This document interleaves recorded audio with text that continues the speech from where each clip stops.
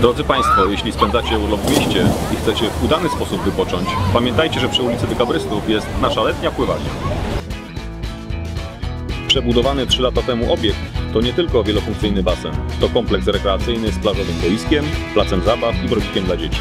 Czekają tu na Was zjeżdżalnie wodne, leżanki z podwodnym masażem powietrznym, grota sztucznej fali, dzika rzeka, gejzery powietrzne, grzybki wodne, a także tory pływackie. Pływalnia czynna jest w godzinach od 10 do 20. Na miejscu można skorzystać z restauracji.